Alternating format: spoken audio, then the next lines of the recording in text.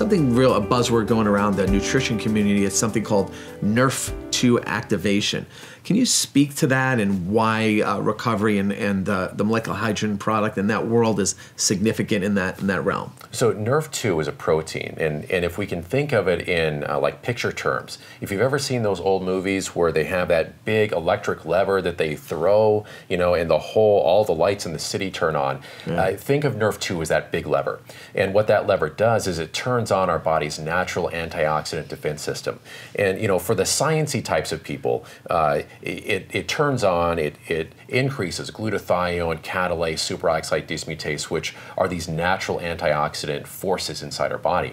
Um, and NRF2 actually helps produce those. It, it, it makes more of them. Okay. Uh, what's unique about, about hydrogen compared to other NRF2 activators that, that are currently available, like turmeric or milk thistle, is that it takes those substances three months to begin to work. It takes hydrogen two days to begin to work, you know, or even within minutes in some people. So Nate, this is really a big deal because you know what I've seen is like you said, people are really excited about like turmeric, milk thistle, pomegranate, all these different antioxidants, and uh, it's a whole different world because you know that's like being in a in a horse and buggy, and but there's jets now.